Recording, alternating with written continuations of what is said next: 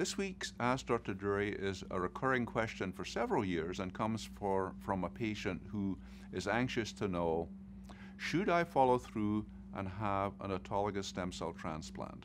This is a patient who has received initial therapy, what we call induction therapy, and has had a pretty good response and wants to know whether undergoing an autologous stem cell transplant with high dose melphalan to achieve perhaps a better response is still recommended as a standard of care. And the answer to that question is, is yes. And so we, we do still see and value this added benefit that can be achieved to produce uh, deeper responses, longer remission, and better survival uh, with patients who go forward with a stem cell transplant.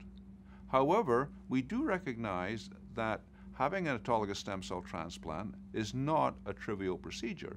This is a significant uh, medical uh, treatment uh, where the patient is in the hospital for a period of time and can take uh, uh, the first month to recover initially and then probably two or three months to uh, fully recover from the procedure. So this is not a trivial type of treatment.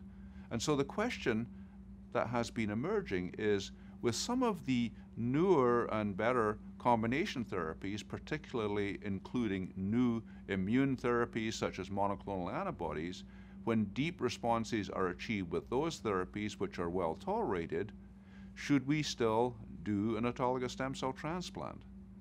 And the simple answer to that is that we don't really know right now. We need longer follow up to see if some of those deeper responses with the new combinations can achieve that same type of long term benefit that we have seen with autologous stem cell transplant.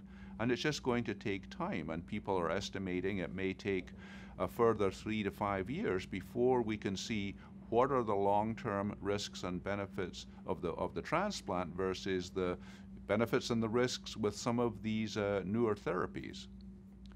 There is tremendous interest in new immune therapies such as CAR T immune therapies or the use of BiTEs, uh, bispecific uh, T cell engaging antibodies. And so those also produce deep responses and could be potentially what we could call replacement therapy in, instead of stem cell therapy. But this is uh, a part of ongoing evaluation and not a current recommendation. And so bottom line for now is that autologous stem cell transplant is still a standard of care, particularly for patients up to the age of 65, where it is typically well tolerated. Above that age, then this needs to be dis discussed carefully with your doctor related to any uh, medical issues that might have emerged uh, with age. And so for the future, over the next three to five years, we will continue to evaluate the complete role of autologous stem cell transplant uh, in comparison with some of the exciting and emerging therapies that we have available to us right now.